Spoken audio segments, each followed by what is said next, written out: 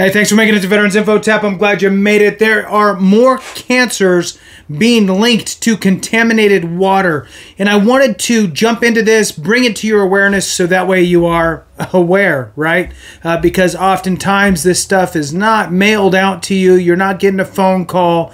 Uh, you need to uh, be on it and understand uh, what you're looking for. So, hopefully, this lands in the hands of those that need it. With that, please hit the thumbs up, subscribe, share with a friend, all that good stuff. I really appreciate it. Uh, the two asks are really hitting that thumbs up and letting the video run. That's what tells YouTube to push this information out to more of us. All right, so uh, for those that don't know, started a second channel with a co-host, uh, good channel called Veterans Daily. Veterans Daily. Uh, it's myself and uh, Clay from the CivDiv uh, doing deeper dives into some good content and having some dialogue, the back and forth, which is kind of good uh, to help cement in some ideas for folks. Uh, in addition, if you want to support this channel in other ways, you can do so by becoming a member. You can do that by going to the home page and you will see the highlighted members and a join button. All right, let's jump into this. More cancers linked to contaminated water at Camp Lejeune. Yeehaw. All right, so Thursday, February 1st, 2024, a much anticipated government study finds that military personnel stationed at Camp Lejeune in North Carolina between 1975 and 1985 face at least a 20% higher risk for certain cancers than those stationed elsewhere. So, this study came out and it is saying that you are 20% more likely to uh, to come down with certain cancers. Why the increased risk, you may ask? For decades, the drinking water at the Marine Corps base was contaminated with industrial solvents, federal documents show. When the contamination was first detected in early 1980s, wells on the base were shut down, but not before soldiers and their families had drunk it cooked with it, and bathed in it for years. The contamination has prompted uh, a spat of lawsuits and several studies looking at the health effects of the exposure. Now, here's the thing you're probably, this is a study. The study is probably going to show, like it did, the 20%. Now, what we'll be looking at is will the VA be adding presumptive conditions to to the list for Camp Lejeune. So we'll see. Let's move on in this and see if we can pick up any other nuggets in the in the latest research, folks stationed at Camp Lejeune were more likely to develop certain blood cancers and cancers of the lung, breast, throat, esophagus, and thyroid uh, than those stationed at Camp Pendleton in California, where the water had not been contaminated. Civilians who only worked at Camp Lejeune were at higher risk for shorter list of cancers.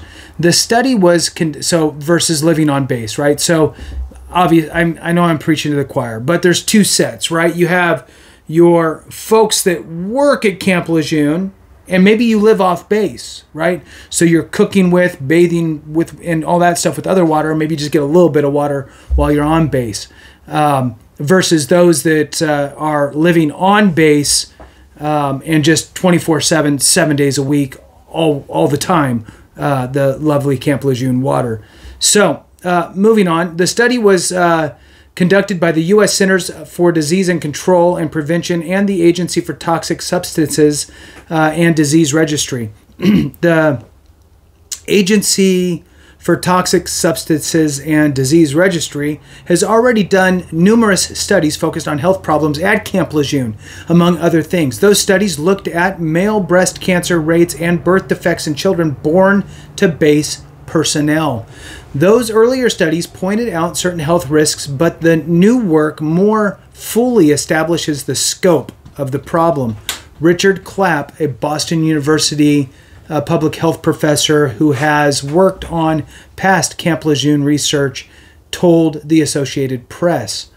Uh, Dr. Aaron Bernstein, head of uh, the um, it's it's a funny acronym. The ATSDR at we'll call it ATSTR. I don't know. That that's the Agency for Toxic Substances Substances and Disease Registry, right? So it's going to be that funky that funky um, acronym We'll call it ADSTER. I don't know. And the CDC's environmental health programs called the new study remarkable. Great. For being uh, bigger and more rigorous than past research, the AP reported.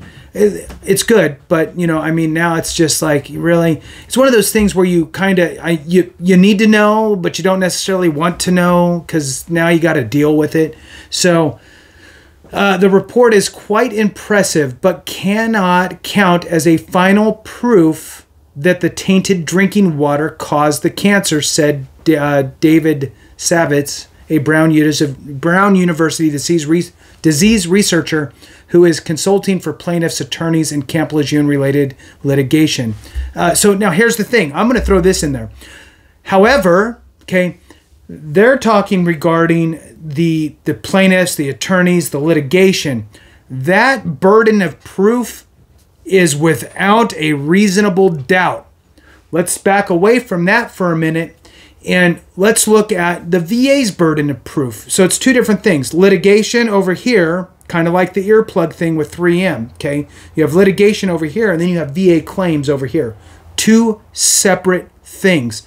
Litigation the burden of proof is without a reasonable doubt.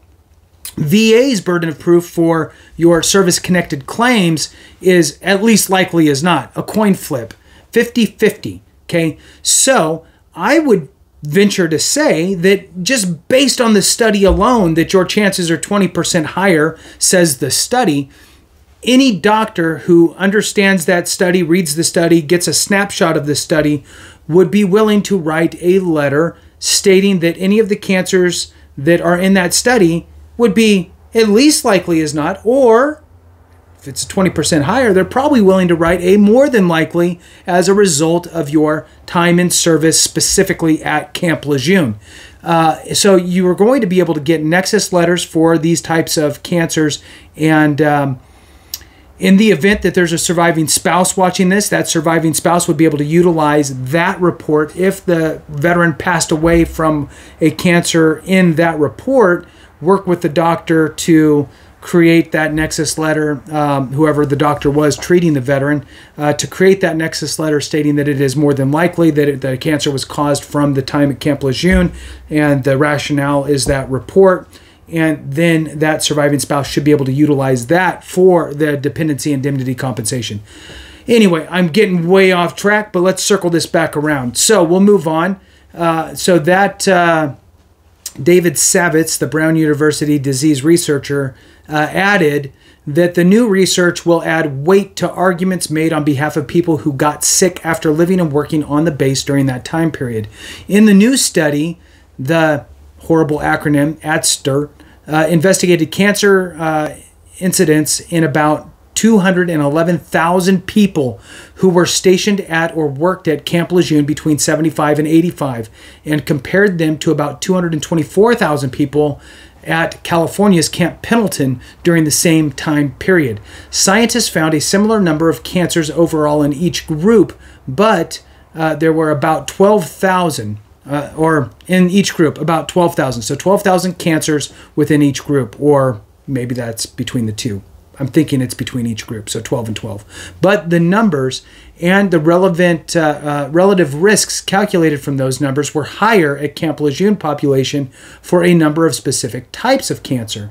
The list included some of what uh, some that weren't clearly identified in earlier studies. This is important, most notably thyroid cancer uh, and moving on, it says uh, the new findings may lead to uh, inclusion of thyroid cancer in the list of diseases for which Camp Lejeune personnel and their families might one day get compensated, uh, he added. So here's the thing what they might be talking about there is the presumptive list. So that just makes it easier, right, to get the service connection. However, just the mere fact that there's a study that's stating that in this case, and I didn't read the study, but if it says that your chances of thyroid cancer were higher if you were at Camp Lejeune, you could probably get a nexus letter that says, at a minimum, that it's at least likely as not that my thyroid cancer came from Camp Lejeune. And the rationale is based on the study, and that's a coin flip. And if your evidence is an equipoise, equal on both sides, the VA is supposed to rule in your favor. So, with that, we'll go ahead and conclude it there. Happy to report this. And uh, good luck with everything that you're doing, whether it is litigation or filing a claim with the VA for uh, anyone that served at Camp Lejeune. Thank you so much for watching. I appreciate each and every one of you. Have a great one. And remember, if we don't take care of each other, something went wrong.